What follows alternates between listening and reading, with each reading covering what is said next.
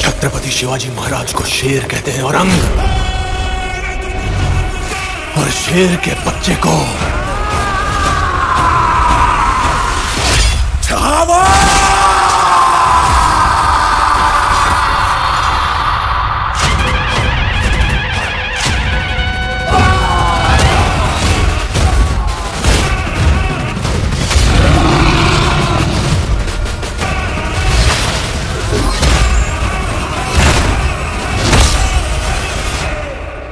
सिवा गया